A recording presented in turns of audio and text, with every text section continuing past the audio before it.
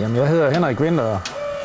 Jeg er udviklingslaboratorietekniker på, på Grundfos. Og det er CR, CR-modeller, vi opgraderer og, og bygger nye, nye serier af. Og det er så den mindste, vi sætter op i filtest. Den nummer 1 i dag, CR95. Det er den aller, allerførste filtest, vi har, vi har bygget og, og, og sat i, i test i dag. Så det er lidt spændende.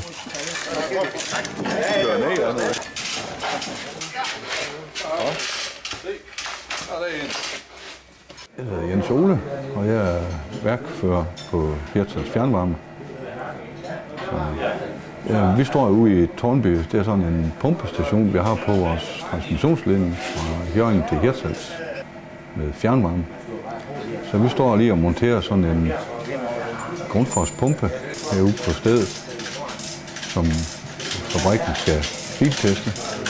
Så jeg er lige ved at montere lidt styring øh, til den grundforspumpe, sådan grundfors kan, kan følge med hjemmefra.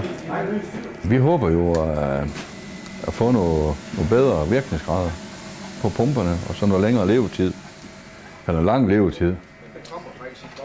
Så, så det er det, vi ønsker os, først og fremmest. Sådan.